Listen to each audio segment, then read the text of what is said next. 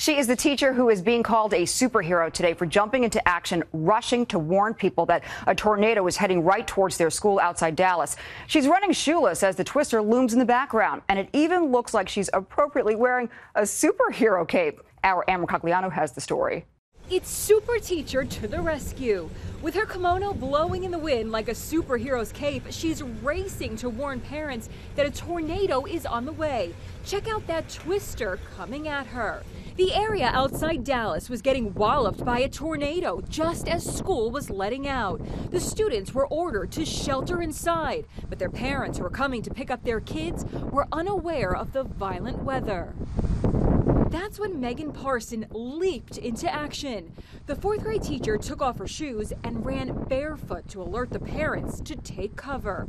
The photo of Megan mid stride has gone viral, with people calling her hero teacher and teacher of the year. In a Facebook post, she wrote, This is what we do. This is how teachers are trained. We care for our family.